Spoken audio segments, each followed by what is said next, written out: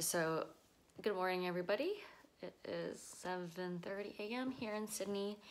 Um, so yesterday I filmed my first vlog for the year, and then a few hours later I went out for dinner with my friend, and I came home, and I had my first breakdown.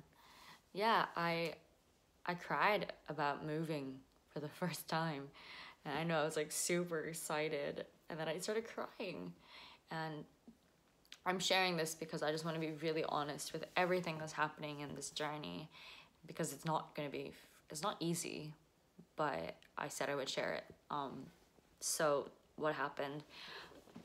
I had organized a going away party with all of my friends here in Sydney and like about 30 to 40 people had RSVP'd and said they were going to show up.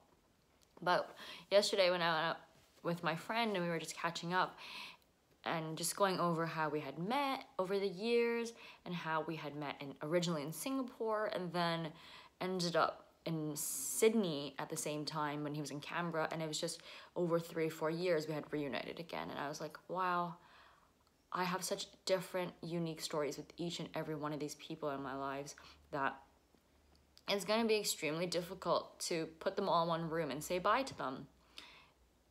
It's just extremely emotional. It's too hard. So, and it's stressful because you meet them at all your different walks of life while I was here.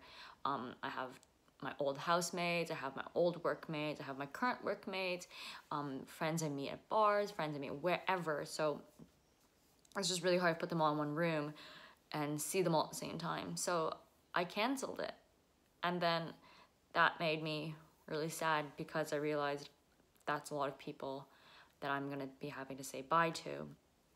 Um, but the good thing is I'm saying goodbye to them like in smaller pockets of groups within the week. Uh, and that's how I prefer it. Um, so that I could actually talk to them and spend time with them. Because I'm a one-on-one -on -one person. I don't really like big group environments where you like talk to a whole group of your friends. I just don't find it that meaningful. Um, so yeah, I had my first breakdown. I was a bit sad. Um, I cried and then I went straight to sleep. But at least I slept for more than six hours for the first time in like two weeks. I've been having trouble sleeping because I've just been so excited to go to Bali and my head is just whirring. I'll sleep at 2 a.m. and wake up at 6. So for the first time last night, I slept from 11 till 7. So that was good. Anyways, I'm off to work for the next few days before I leave Sydney. Um, okay,